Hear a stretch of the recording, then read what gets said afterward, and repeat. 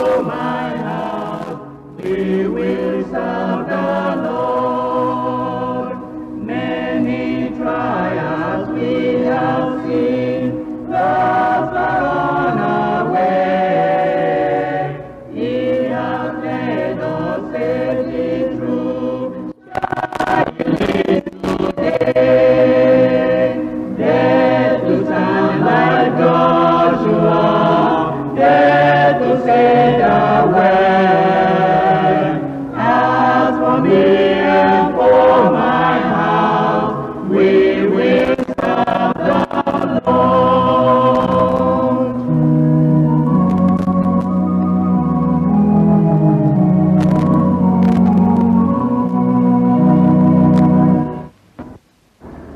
Let us pray.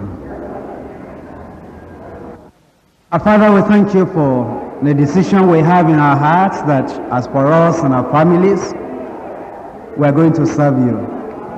And we are praying that your grace and power will confirm that decision in Jesus' name. We pray that every hindrance in our way that will hinder us from really fully serving you to the fullest capacity, you remove from our ways in Jesus' name. And we pray that as we serve you, the blessing of service will come upon every one of us. Lead us this day. Teach us your word. And let the word bring wonderful things into our lives. In Jesus' name we pray.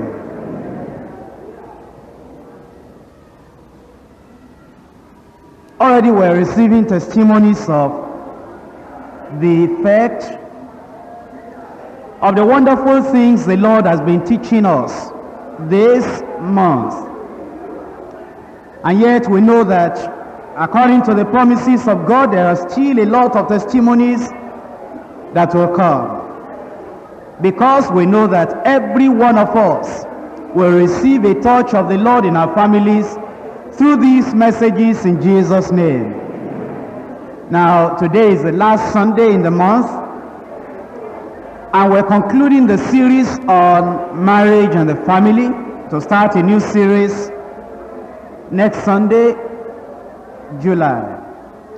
And as we come to the conclusion of the marriage series, I want to read to you from John chapter 2, verses 1 to 11. Gospel according to St. John, chapter 2, from verse 1 to verse 11. And the third day there was a marriage in Cana of Galilee, and the mother of Jesus was there. And both Jesus was called and his disciples to the marriage. And when they wanted wine, the mother of Jesus says unto him, They have no wine. Jesus says unto her, Woman, what have I to do with thee? Mine hour is not yet come. His mother says to the servants, Whatsoever he says unto you, do it. And there was set there six water pots of stone, after the manner of the purifying of the Jews, containing two or three firkins apiece. Jesus says unto them, Fill the water pots with water. And they filled them up to the brim. And he says unto them, Draw out now, and bear unto the governor of the feast. And they bear age. When the ruler of the feast had tasted the, the water that was made wine, and knew not whence it was, but the servants which drew the water knew, the governor of the feast called the bridegroom, and says unto him, Every man at the beginning does set forth good wine. And when men have well drunk, then that which is worse. But thou hast kept the good wine until now. This beginning of miracles did Jesus in Cana of Galilee and manifested forth his glory, and his disciples believed on him. As we come to the conclusion of the marriage series, we want to take this passage and learn from the passage what the Lord will have us to know about what the Lord will do in our marriages or in our families when the Lord is allowed to be at the center of the whole. The passage itself is a surprise to Bible students, it's a surprise to believers, and it's a surprise to people that lived in the days of Jesus Christ. Now, because as you think about it, Jesus Christ had been in, his, in the home of uh, Joseph and Mary for now 30 years. And I've been preparing 12, um, about um, 18 years before that time. He had told the mother and Joseph, why are you looking for me? Don't you know I must be by my father's business? And they were watching him to know where he will carry out his father's business. And John the Baptist had gone out, and John the Baptist had been the forerunner. He had been talking about this Jesus Christ. There is one coming, is mightier than I am, whose shoes lashed I'm not able to loose. And when he comes, he'll baptize you in the Holy Ghost and fire. You know, he had been talking about this Jesus Christ. And if you know anything about um, John the Baptist, he never attended any marriage at all. Not any wedding. In fact, you know, he stayed in the wilderness. Because, uh, you know, all the Pharisees, they were abusing him. They were saying this one that is almost a hermit is not social. He will not, you know, just get into any community where you are having joy and love and merriment. John was not like that. And he was a very forerunner of the Lord Jesus Christ. And John had been preaching about this man. And John wore a type of clothes. And John ate a type of food. And he was never in a place where they were having a marriage feast like this. And I've been talking to them that this Jesus is coming. So John himself would have been expecting that Jesus will just be like him completely. And John spent all his life on preaching, doctrine, messages. And his messages, when you had those messages, you had no time to laugh at all. You had no time to be happy at all. Because repent, the axe is laid at the root of the tree. Don't you say you are children of Abraham because the Lord is ready to bring judgment. That was his message. And then he said, one is coming and is going to come with fan in his hand and unquenchable fire to burn the chaff. And then Jesus Christ came. He left his family and was not going to go into the public ministry.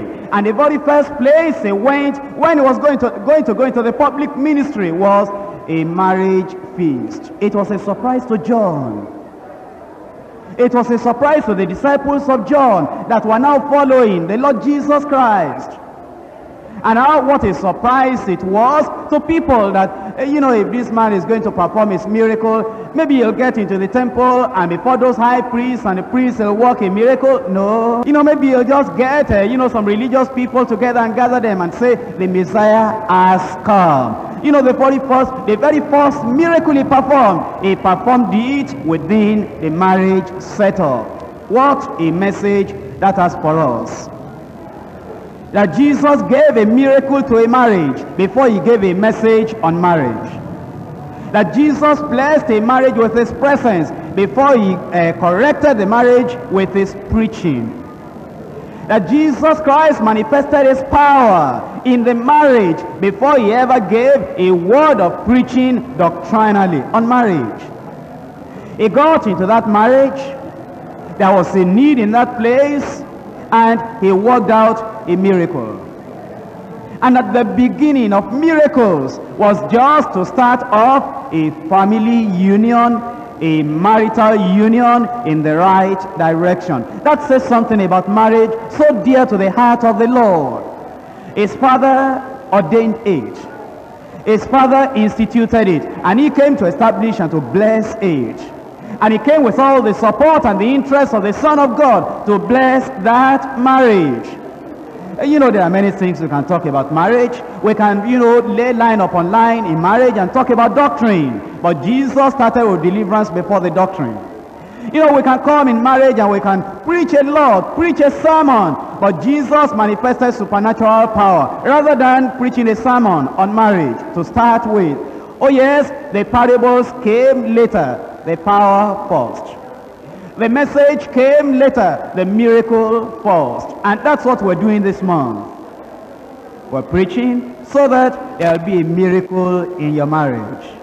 Of course, the doctrine is important. The message is important. The parables are important concerning marriage. But the power, the presence, the supernatural, the miracle, the deliverance, all for the marriage.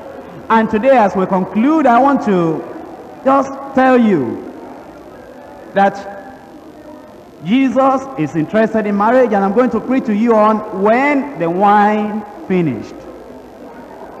In this um, passage I've read to you, we're looking at what happened when the wine finished. Now you know a message like this. Oh, you say, what sort of message is this? You've been telling us about building the home on the rock. You've been telling us about the Father's choice for you. You've been telling us about the spirit controlled family. And now we're at the climax of the whole thing. And you're telling us when the wine finished. Oh yes. You know, you go to a doctor. And then he helps you one way or the other. And now you are well. And you are happy. And you are healthy. And the doctor says, don't go yet. Come. I don't expect that you will have this problem again. I don't expect that you will have any trouble again in this area, but should in case you have this problem again, this is what to do. In 10 minutes, you'll be all right. And that's the attitude we have today. That from the messages you have heard, from the prayers you have prayed, and from the prayers we have also prayed for you, I don't expect that your problem should remain. I believe that it should not be going, uh, you know, from faith to faith, from glory to glory, from grace to grace, and from better to best in your marriage. But should in case anything happens along the way, let me tell you what to do when the wine finishes. Now, this passage, because it talks of wine, many Christians, born again believers, we read the passage and we pass over it. Oh, we say, I don't like that passage because it has a question there I don't know how to answer. You know, they tell us uh, Christians should not drink, Christians should not drink. And Jesus went to the marriage and he made water, wine. And when people ask me about that, I'm in difficulty. I don't know what to answer, so I don't like that passage. The passage is wonderful. But you know the problem? Wine with us is different with to wine with them. You know, many things have changed. Language sometimes remains the same. Those days they were using the language wine. But what they meant was totally different because at that time there was no brewery. There was no refrigeration. There was no all these chemical processes. They were not available. But today, you know, when they talk about wine, they are talking about something totally different. They are talking about something you have to advertise a lot heavily. They are talking about something that, you know, if you drink it and you drink a lot of it, you will be degraded from being a man to an animal. You'll be converted in the negative sense. You'll go from light into darkness. You'll go from being sensible to being unreasonable when we talk about wine today. But you know, those days, it wasn't like that. Whenever they were talking about wine, it was the ordinary thing that everybody drank in place of water. There was no pipe-borne water at all at that time. So what they drank was the unfermented juice of the grape or other things like that different from water. They called it wine. Whenever they were talking about real hot thing, they talked about strong drink. They made a very a major difference with it. But let's come back to this passage. When the wine finished. To them it was a symbol of love, a symbol of joy, a symbol of peace. Eh, you know what Isaiah said? Isaiah said, Ye that have no money, come buy, buy and drink milk and wine without price. He wasn't talking about strong drink. He was talking about all the grace and the virtue that will come out of Jesus Christ the Messiah when he comes. When Isaiah was saying, come for the wine, he wasn't talking about something that will degrade you, something that will lead you into, you know, the uh, into accident, into destruction, into insanity. He was talking about love, about joy. He was talking about peace. He was talking about all that Calvary will purchase for humanity. And today when I talk about when the wine finished, I'm talking about when the love has finished in the family. When there is no love again, what are you to do? When there is no joy again within the family, what are you to do? Oh, you say, I thank God because I've just received a miracle in my family. Oh, yes. Oh, yes. But we're talking about if it happens that the love, the joy, the intimate relationship, the communication has totally broken down. What are we to do? When there is no more freedom and liberty, and the whole family is in bondage, and we are careful and fearful of one another, what are we to do? When the funds are not there, when the wine finishes, when the funds are finished, no money. When there is no provision, what are we to do? When the wine has finished, when everybody is sick and there is no good health in the family, what are we to do? When there is no trust and confidence, when there is no peace, when there is no sincerity and security, when there are no friends, all the friends have become enemies. When there is no fellowship within the family, when the wine has finished, what shall we do? Uh, you want to know what to do? I don't know when Daniel understood how to behave in the lion's den. But you know, if somebody called him for a message and said, I want you to know what to do if you ever get into the lion's den, oh, he might say, impossible, impossible, I will never get into the lion's den, so I don't need any lesson on what to do when you get into the lion's den. But he took the lesson, he took the lesson, and one day, they threw him in the lion's den. It was not a surprise to him at all. He must have known a message before. What to do if you ever get into the lion's den. And you know Shadrach, Meshach, and Abednego. I don't know if somebody ever gave them a lecture. What to do if you ever get into the furnace of fire. And you know there are Christians that, you know, put their heads in the sand and they say, I don't want to worry myself about what to do when you get into the furnace of fire. They will not listen. But you know, the day came and um, they called Shadrach, Meshach, and Abednego and they threw them into the fire. But thank God they knew what to do when they got into that furnace. They just became free and they were walking about in the fire. Now, uh, Peter must not have got a lesson before. What to do if you ever walk on the sea. I'm sure he didn't have any lesson before. And when he got on the sea, it was totally strange to him. And then he began to sing and, uh, sing and he began to cry aloud, Lord, save me. Now, what do you do when the wine has finished? No more love, joy, intimate relationship, communication in the family. Everything has broken down. What do you do? Do you just say, well, this marriage will not continue. Let me go and marry another person. Well, the wine may finish in that one again. What do you do? Well, I will kick that one off and marry a third person. The wine may finish again. What do you do? You better learn the lesson now. When there is no communication anymore, no freedom, no liberty, no funds, no provision, no good health, no trust and confidence, no peace, no sincerity or security, no friends, no fellowship. What do you do? When the wine has finished. Now, I've read a passage to you in John chapter 2 verses 1 to 11 and we divide the passage into four sections. Number one, the invitation. They invited Jesus Christ. And that's what I'll be telling you this afternoon. Whatever you do, whatever you don't do, whatever you have, whatever you don't have, please make sure you have invited Jesus Christ into your heart and into your family. The invitation. Number two, the intercession. Mary went to Jesus Christ and he gave him the information saying they have no wine. And when he did that, he was making intercession on their behalf. And I want to tell you that in your marriage, number one, give Jesus Christ a direct invitation. Make it definite. Invitation. Then let there be a definite intercession.